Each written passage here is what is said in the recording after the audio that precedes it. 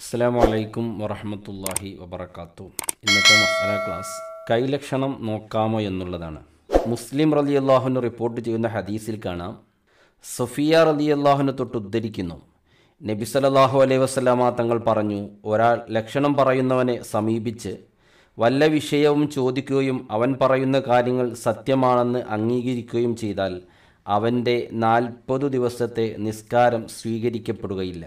ഇമാം നവവി റലി അള്ളാഹുന് പറയുന്നു ഇത്തരം കാര്യങ്ങളിൽ ഏർപ്പെടലും കൈലക്ഷണം നോക്കൽ ജ്യോത്സ്യനെ സമീപിക്കൽ അത് ലക്ഷ്യമാക്കി സഞ്ചരിക്കലും ലക്ഷണം പറയുന്നവരുടെ വിവരണങ്ങൾ സത്യമാണെന്ന് അംഗീകരിക്കലും അതിന് പ്രതിഫലമായി പണം നൽകലും ഹറാമാണ്.